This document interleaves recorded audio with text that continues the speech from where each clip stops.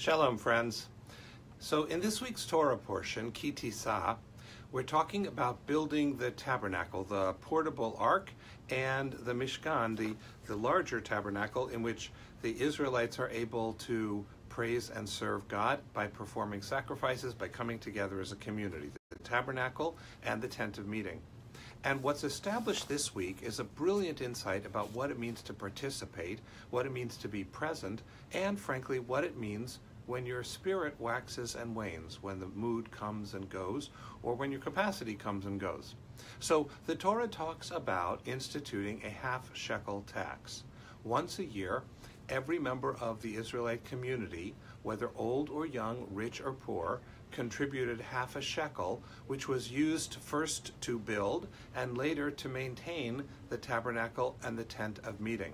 And it's really striking because the Torah is clear about this that everybody participates. Ha'ashir lo yirbe v'hadal lo yimat. The rich shall not give more, and the poor shall not give less than half a shekel, which they give as an offering to God to make atonement for their souls. So, what's going on here? On one level, what the Torah is establishing as a matter of policy is that everybody participates. Nobody sits this out. And that, I think, is a crucial way for us to think about our own social structure as well.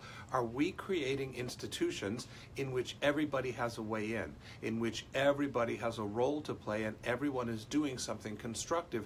Again, rich or poor, male or female, straight or gay, whatever their race, whoever they are, whatever their profession, everybody has something to bring to contribute to success.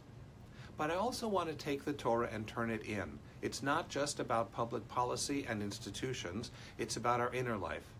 You know, there are days where we feel rich, where we just feel like there's a song in our hearts and we're ready to dance and everything is going our way. And there are days where we feel poor, we are impoverished, there's a lack of energy, a lack of vision, something crushing us down.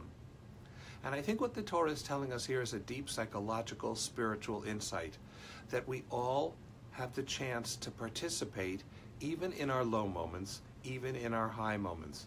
We bring our giddiness to the service of God and the world. We bring our depression, painful as that is, to the service of God and the world. We can have something to offer in all of our emotional and spiritual states. And the question to ask ourselves is what do I have to give today?